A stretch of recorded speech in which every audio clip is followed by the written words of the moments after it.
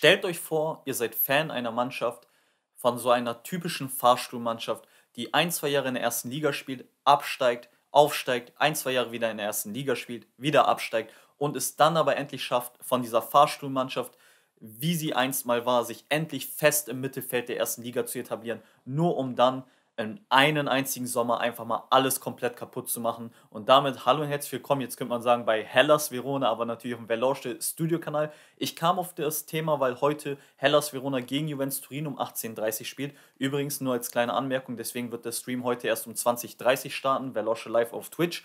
Auf jeden Fall wollen wir aber heute über Hellas Verona reden. Denn wenn man in die nähere Vergangenheit bei Hellas schaut, dann sieht es eigentlich alles sehr, sehr positiv aus. Wir gucken mal so auf die letzten Jahre. Nach dem Aufstieg ähm, aus der Serie B in die Serie A haben sie es geschafft, in den letzten drei Jahren 9., 10., 9. zu werden.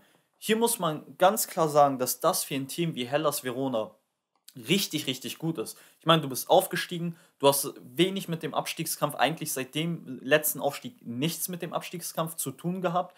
Du hast immer wieder schöne neue Spieler entwickeln können, beispielsweise Casale, Zakjandi, ähm, Udoji spielte ja ursprünglich auch mal bei Hellas, der jetzt äh, aber bei Udine natürlich den großen äh, Durchbruch hat.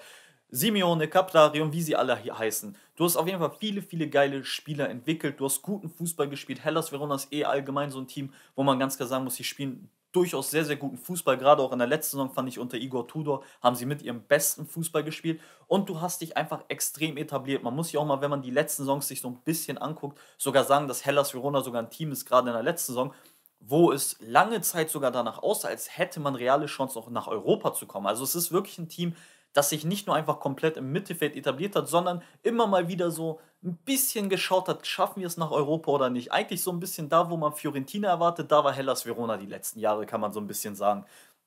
Und dann hatte man die letzte Saison. Man hatte wirklich eine geile Saison. Du hast ein unglaublich starkes Offensivtrio. Defensiv war das ziemlich anfällig hier und da, aber insgesamt hattest du einfach eine richtig geile Basis, um eigentlich darauf weiterhin aufzubauen. Wie ich auch eben schon sagte, die letzten drei Jahre liefen perfekt. Äh, für einen Aufsteiger gibt es ja nichts Besseres, als direkt drei Jahre hintereinander zweimal Neunter und einmal Zehnter zu werden. Also du bist im Mittelfeld angekommen. Dann hatten wir diesen Transfersommer. Diesen Transfersommer, das erste, was passiert ist, Igor Tudor ging. Wie gut er als Trainer ist, sieht man ja momentan auch bei Marseille, wo er wirklich ankommt und direkt einfach ja, durchstartet. Tudor ist ein unglaublich guter Trainer, muss man sagen, macht eine richtig gute Arbeit. Aber auch das ist natürlich logisch. Immer wenn du erfolgreich bist, dann wollen andere Vereine, größere Vereine natürlich dir die Spieler als auch Trainer abwärmen. Tudor hatte in, in insgesamt 36 Spielen in der letzten Saison, er blieb ja auch nur, war nur ein Jahr dort, hat er insgesamt 1,47 Punkte pro Spiel geholt, 65 Tore, 59 Gegentore, da merkt man auch schon offensive Power, defensiv ganz schön anfällig. Aber man hat wirklich guten Fußball gespielt, es war sehr ansehnlich und man war damit ja auch für seine Verhältnisse sehr, sehr erfolgreich. Dann haben wir aber auf Sachen Transfers, beziehungsweise auf dem Transfermarkt eine Sache, die habe ich im Sommer schon nicht verstanden. Ich glaube, jeder, der sich das mal anguckt, wird es nicht verstehen. Und zwar hattest du in der Saison 21, 22 da vorne drei Spieler, die sage und streibe 57 Scorer gemacht haben. Ihr habt es eben gehört, in der Serie A haben sie 65 Tore gemacht. 57 Scorer kamen von drei Spielern: Caprari, Simeone, Barak. Ist es verständlich, dass jetzt größere Vereine Interesse an diesen Spielern haben? Keine Frage. Ist es aber so schlau, diese drei Spieler abzugeben, alle in einen Transfersommer, vor allen Dingen auch teilweise zur, ich will jetzt nicht unbedingt sagen direkten Konkurrenz, aber teilweise zu Aufsteigern wie nach Monster, ist das wirklich sinnvoll? Natürlich nicht. Hast du dann ein Riesenloch vorne? Natürlich ja. War es klar, dass das Loch zu stopfen extrem schwer wird? Ja. Hat man es gestopft? Nein, denn wir gucken auf die aktuelle Saison von Hellas Verona.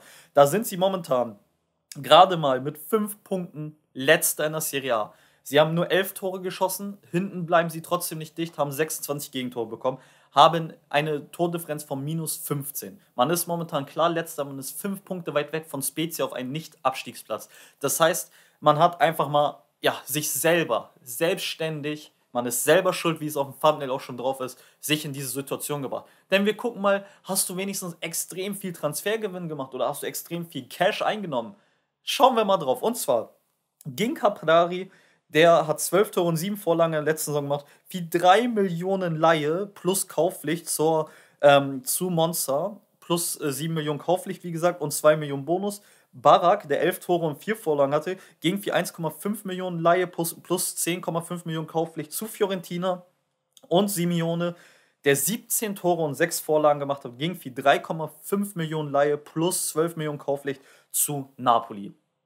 Du hast also alle drei Spieler abgegeben und gerade wenn man so sieht, Simeone letztes Jahr hat er einfach mal 17 Tore und 6 Vorlagen gemacht und du kriegst in der Gesamtsumme gerade mal 15,5 Millionen. Das ist doch nicht viel für so einen Spieler in der heutigen Zeit. Du hast allgemein, wie ich finde, für jeden deiner Spieler, die so viele Scorer beigetragen haben, relativ wenig Geld gekriegt. Klar, Caprari vielleicht, weil der hatte so seine erste Durchbruchssaison. Da finde ich die 10 Millionen noch halbwegs okay. Plus zwei Bonus kriegst vielleicht 12 Millionen, das finde ich noch okay. Aber Barak und Simeone hat man meiner Meinung nach ganz klar unter Wert verkauft. Vor allen Dingen hast du auch alle nur verliehen und kriegst das Geld erst im nächsten Jahr, vielleicht dann in der Serie B, dann kannst du es zwar gebrauchen, aber du kriegst ja auch erst ein Jahr später.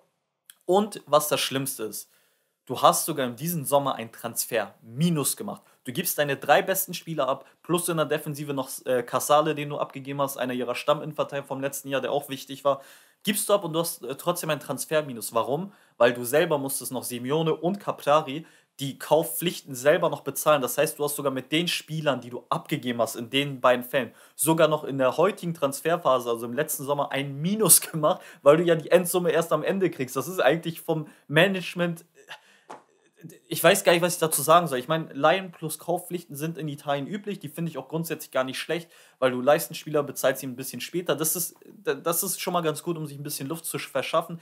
Aber es macht ja keinen Sinn, gerade aus Hellers Sicht dann, wenn du die Spieler zahlst, dann erst die Kohle wieder im nächsten Jahr zu kriegen. Damit verschiebst du viel zu viel. Und das ist wieder ein Negativbeispiel, wo Laie mit Kaufpflicht eben auch mal negativ draufschlägt, denn Hellas Verona trifft das extrem. Natürlich haben sie versucht, äh, das Ganze abzufangen. Man hat zum Beispiel den Henry geholt von Venezia, der letzte Saison ein paar Tore für sie gemacht hat in der Serie A. Aber du kannst es überhaupt nicht abfangen.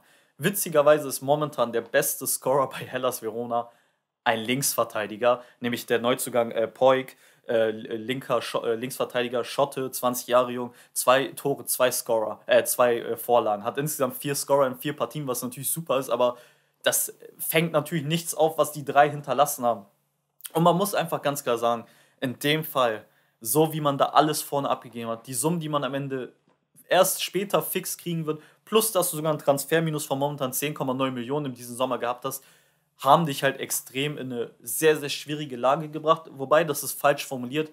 Ihr selber, in dem Fall das Management von Hellas Verona, haben sich selber in eine sehr schwierige Lage gebracht. Oder um es noch drastischer auszudrücken, und das ist nun mal die Realität, man selber hat sich zum Abstiegskandidaten Nummer 1 in der Serie A gemacht.